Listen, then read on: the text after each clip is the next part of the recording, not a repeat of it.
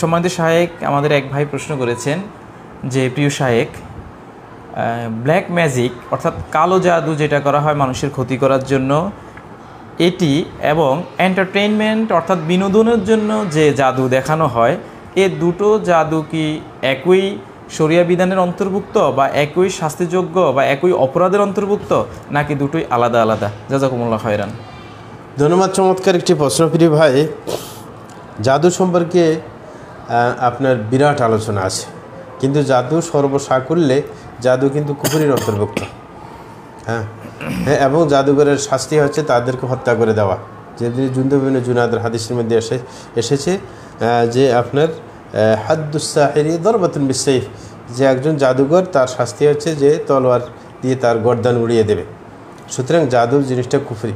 যেমন কোরআন মাজিদে সুরে বাকরের মধ্যে এসেছে, ওমা কাফার সুলাইমান ওলা কিন্নাসিন কাফারু কারণ কিছু মানুষের এই ধারণা যে সোলার ইসলাম নাকি জাদুবিদ্যা শিখিয়ে গেছেন। এবং শয়তান কিন্তু কি করেছে? ওনার চেয়ারের নিচে আপনার জাদুর বইগুলো রেখে দিয়েছেন। উনি যখন মৃত্যুবরণ করেছেন, তারপরে শয়তান ওই বইগুলো বের করে মানুষকে দেখিয়েছে যে উনি জাদুবিদ্যার কি? আপনার প্রতিষ্ঠাতা। হুম, উনি প্রতিষ্ঠা করেছেন। এই কারণে আল্লাহ সেই চেতনার বিরু- বিরুদ্ধে বলেছেন যে না সুলাইম ইসলাম কুহুরি করে নাই। কারণ তিনি জাদু শিক্ষা দিতে যাবেন কেন? জাদু চর্চা করতে যাবেন কেন? বরাকুমুল্লাহ কিনে সে অতই অতিনে কাফারু। শয়তানরে কুহুরি করেছে। হুম? এ- এটা হচ্ছে কথা।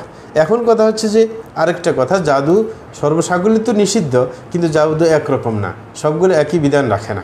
জাদু কিছু আছে, জাদু হচ্ছে যেটা কারসাজি করে দেখানো হয়। এটা যেটা বাস্তবতা তেমন নেই। যেগুলো বর্তমানে আপনার রোডে গাঁটে দেখবেন হ্যাঁ? মানে কারসাজি করে সেগুলো করা হয়। মানে দ্রুততার মাধ্যমে করা হয়, যেটা অন্যজনে বুঝতে পারে না।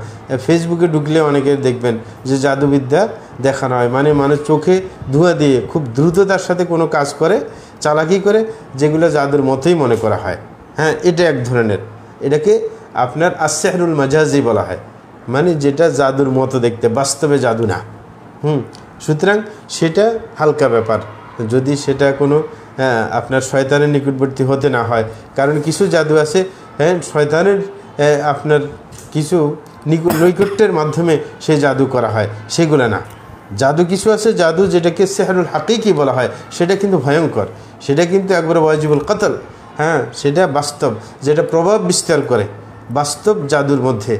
হ্যাঁ যেমন আছে কোরআন মধ্যে আছে আমিন হুমা মাই ফরকুন বিহি বাইনাল মার ওয়াজাউজে যে তারা হারুত মারুত থেকে এমন জাদু শিখে যে যেটার মাধ্যমে স্বামী স্ত্রীর মধ্যে কি ফাটল সৃষ্টি করে- করতে পারে। এগুলো হচ্ছে বাস্তব জাদু, যেগুলোকে আর সেহরুল মুআসিরু বলা হয়। সেটা কিন্তু ভয়ানক।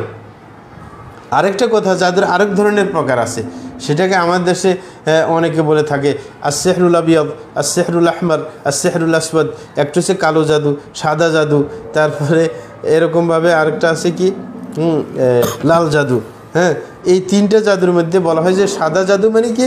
হ্যাঁ যেটা ভালো ভালো কাজের জন্যই কি আপনার করা হয়। আর যেটা কালো জাদু, সেটা ক্ষতি করার জন্য করা হয়। আর যেটা হ্যাঁ আপনার কী বলে, লাল জাদু, এটা ক্ষতিও করতে পারে, লাভও করতে পারে। এই কারণে সবাই বলতেছেন, যারা জাদুবিদ্যার সাথে জড়িত, কালো জাদুটা হচ্ছে সবচাইতে ভয়ঙ্কর, ভয়ঙ্করতার দিক দিয়ে।